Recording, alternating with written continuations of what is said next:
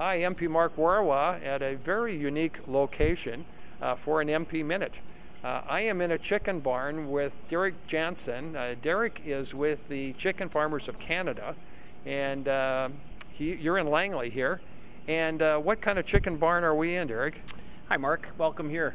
Uh, we are in uh, a broiler chicken barn. These chickens are primarily for uh, for, for meat, and uh, you'll find them uh, in in the grocery store and uh, other retail outlets.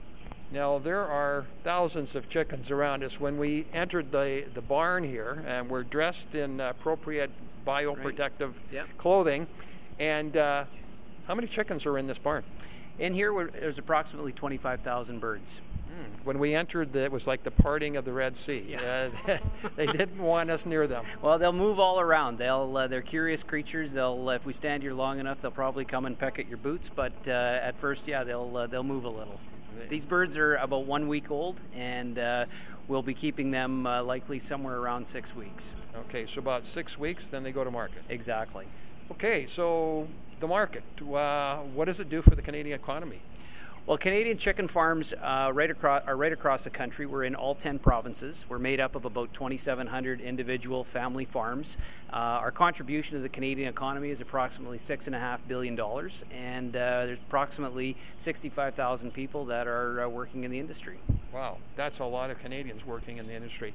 Now, you said it's only about six weeks, and these uh, these chicks go to market. Right. They're right. they're they grow very quickly. They do. Um, over the years, genetics has played a big part in that, and uh, just their their basic diet. Uh, you know, there are a lot of fallacies out there that uh, you know we're using steroids, we're using hormones.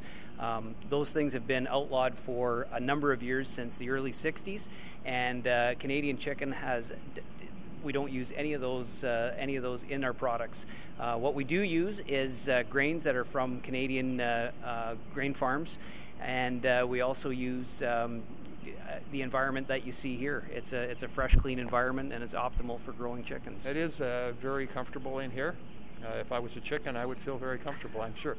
So um, yeah, a lot of people think uh, that they grow that quickly because you're pumping them with hair, uh, and steroids. That's not the case, you said. Absolutely not, Mark. Absolutely so, not. So Canadian chickens are one of the best in the world.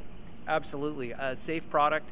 Uh, at Chicken Farmers of Canada, we have mandatory uh, programs that all 2,700 farmers across the country follow. We have food safety programs, we have an animal care program. They're all audited, and uh, farmers are expected to, uh, to follow the program and to do what's best for the birds that they're looking after. Hmm. Um, so people want to make sure that they're, what they eat is healthy, and um, so there's lots of different types of meat uh, chicken is a very popular meat. And uh, so this barn, uh, you will be getting every six weeks. You uh, the you get twenty five. twenty five thousand chickens we put in in this one here. And then uh, there'll be a, a pause for how long before you bring in more chickens? We're usually we're usually empty for about two weeks, and that allows us enough time to uh, remove the litter, clean the clean the barn thoroughly, wash the barn down, uh, and disinfect and allow the barn just to sit enough time to uh, to have a rest before putting product back in.